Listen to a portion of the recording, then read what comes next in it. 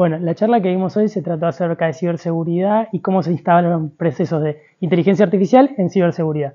Entonces lo que tratamos de ver fueron las dos miradas de ciberseguridad, ¿no? tanto del atacante como la del, defensa. ¿no? Entonces ver cuáles son las herramientas que está utilizando el atacante con inteligencia artificial y cuáles son las herramientas que está usando la defensa, digamos, para aumentar así y ver todas las vulnerabilidades que, eh, digamos, el atacante está tratando de realizar en nuestros sistemas.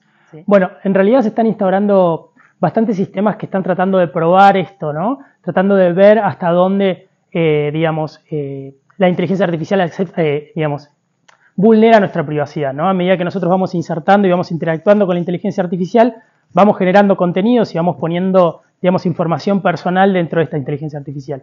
Digamos, lo que va a pasar con el tiempo va a ser que seguramente nosotros tengamos más modelos de privacidad acerca de cómo vamos interactuando con esa inteligencia artificial y seguramente nazcan otros modelos, de hecho, ahora existen varios modelos como ChatGPT que depende de la suscripción que vos pagues, es el distinto nivel de privacidad que tenés en lo que vas hablando.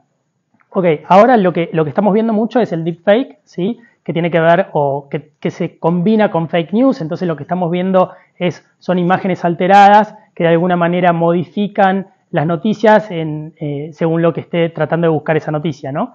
También lo que estamos viendo y seguramente veamos más en el futuro tiene que ver con campañas de phishing, ¿no? Campañas de phishing que nosotros le llamamos spear phishing o campañas de phishing directamente apuntadas a cierta persona con sus gustos, sus preferencias. Entonces, obviamente, si conoce nuestros gustos y nuestras preferencias y aparte está redactada por una inteligencia artificial, es como que de alguna manera vamos a hacer más clic en estos phishing, ¿no? Por lo tanto, somos más vulnerables a estos ataques.